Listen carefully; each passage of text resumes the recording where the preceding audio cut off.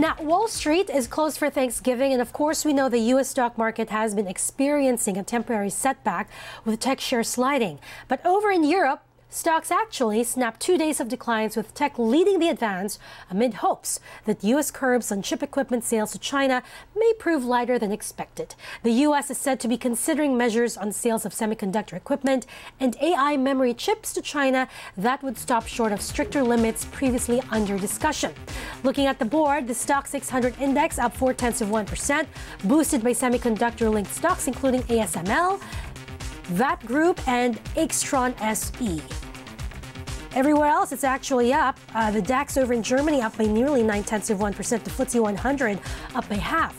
Now, elsewhere, political turmoil in France weighed on the nation's stocks and bonds. The yields on benchmark French bonds traded near 3%, briefly on par with those of Greece for the first time on record.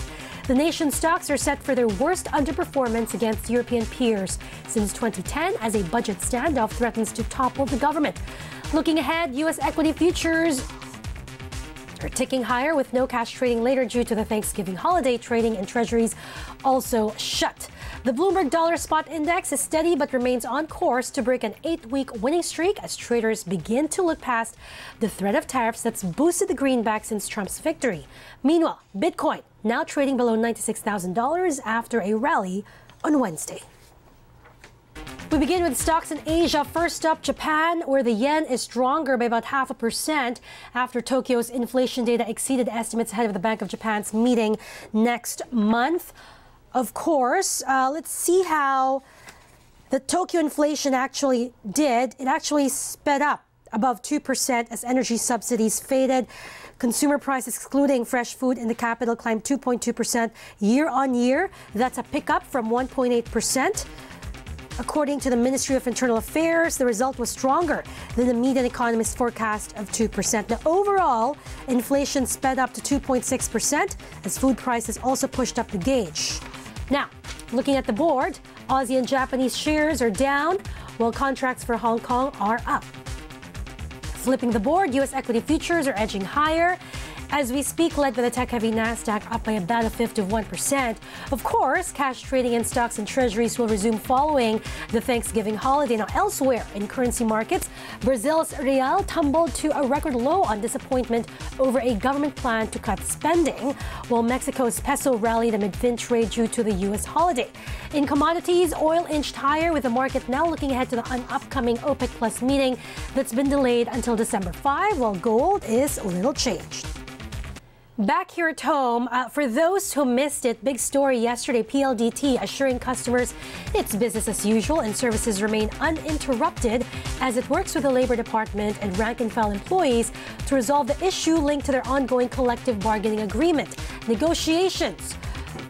The Manggagawa sa Komunikasyon ng Pilipinas or MKP which represents over 3,800 workers lament the company's current offer is too small. The group submitted the strike vote results to the National Conciliation and Mediation Board on November 25. The seven day strike ban is now in effect.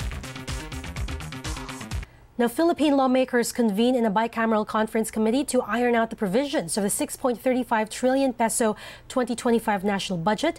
The meeting, however, did not even last one hour. RG Cruz tells us why in this report. Jude Senators and congressmen convened a bicameral conference committee tasked to reconcile their differences on the proposed 6.352 trillion peso 2025 budget. But congressmen were confronted by media with questions and reports that an impeachment complaint against Vice President Sara Duterte is in the offing. The House leadership, led by its Speaker, remained mum.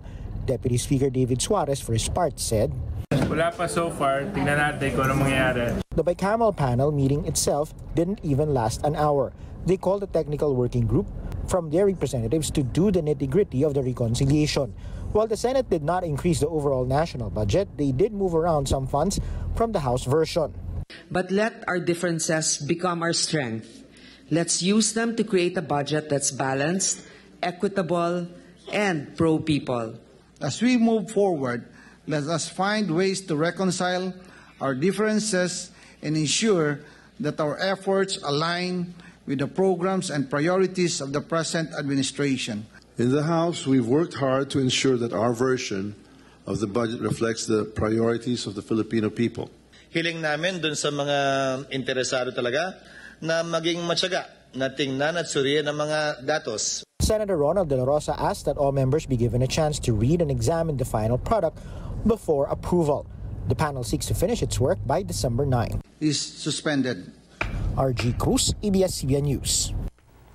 Filipino workers in demand. Ten countries expressed strong interest in hiring Filipinos to address labor shortages in healthcare, construction, and other industries. As Zen Hernandez tells us, these include seven European countries and even Japan, which is expecting a labor shortage of almost a million in the next five years. Watch this.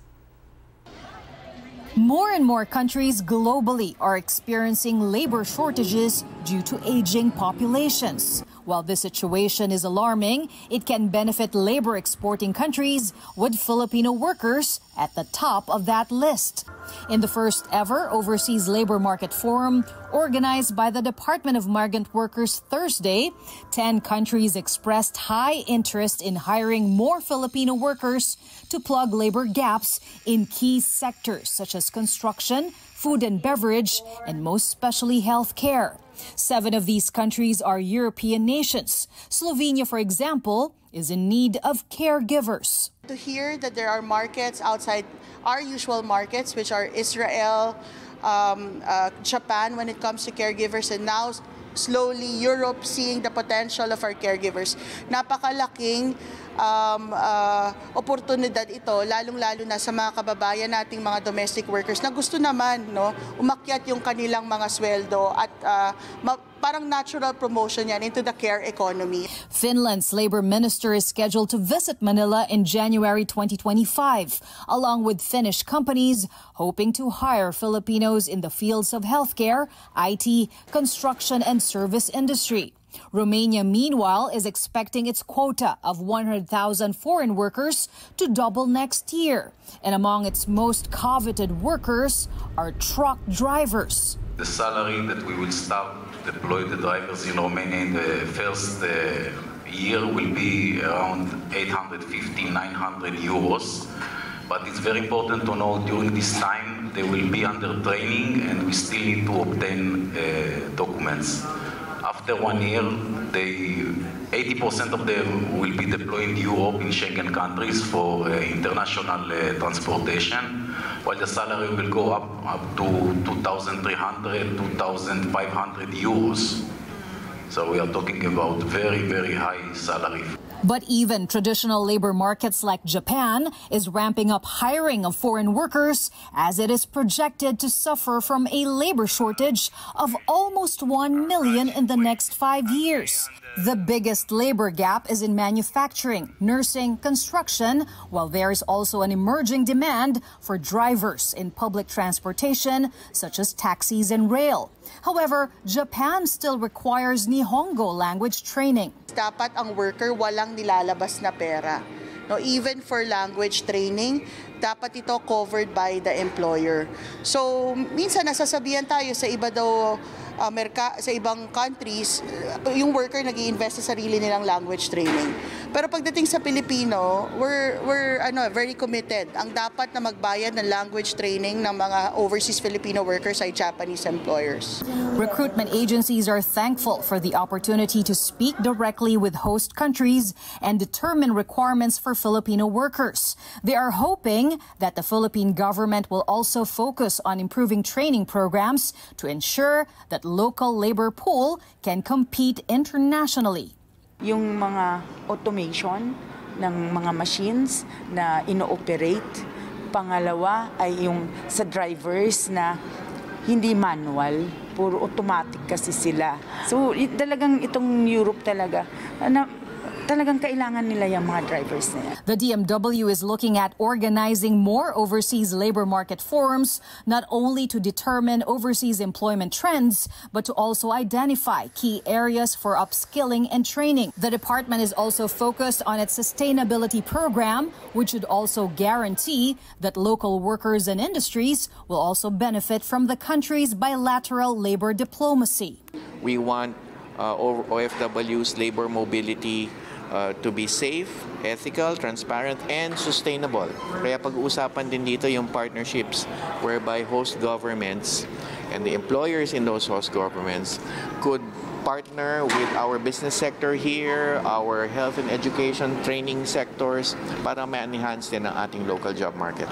Other countries that expressed a need for Filipino workers are Austria, which already signed two labor agreements with the Philippines in 2023, the Czech Republic, Croatia, and Germany.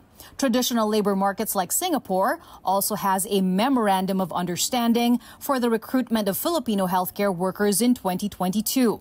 In order to facilitate and ensure the proper and safe deployment of Filipinos to all these countries, the DMW is aiming to increase its presence by opening two additional migrant workers offices before the year ends and up to five more in 2025. The department currently has 42 MWOs worldwide after recently opening offices in Hungary and Austria. Zen Hernandez, ABS-CBN News.